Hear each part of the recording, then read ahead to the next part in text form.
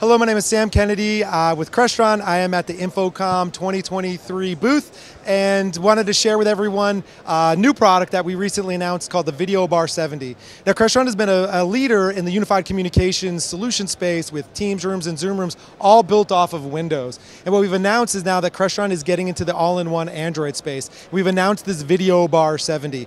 A couple of really key differentiators for us is that this is built off of the latest and greatest of Qualcomm, so it gives a very very powerful processor, so it'll run the latest and greatest of Android.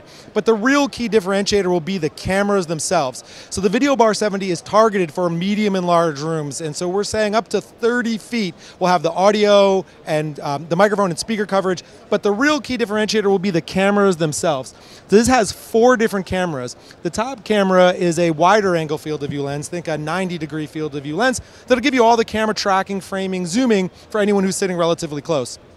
The bottom three cameras have a very narrow field of view focus lens, so each one of them is 41 degrees. And what that's going to give is a much better video quality for someone up to 30 feet away. So as the camera's doing the cropping that, that makes it appear to be zooming, there's a lot more pixels that the cameras can leverage by because we have such narrow field of view focus lenses. So Crestron is now in the all-in-one Android space. To learn more, please go to www.crestron.com.